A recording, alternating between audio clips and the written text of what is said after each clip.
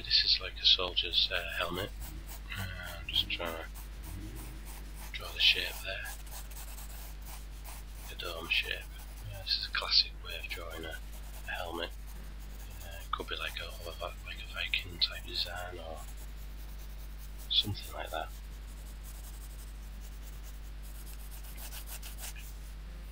It's what I usually draw like skeleton warriors in,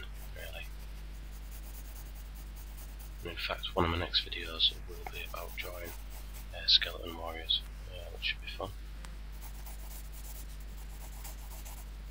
Just about drawing a design and hoping it works out okay. Because once it's in pencil, I mean, you can change things, things when you want to ink, ink the drawing. Things that work out, so you just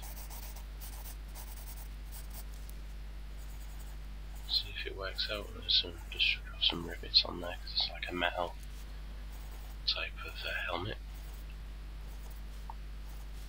As long as they loosely match up to the other side, it's, then it's okay.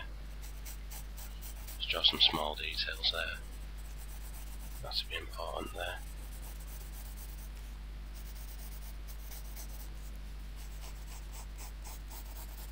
This is pretty much following through with the drawing and see how it works.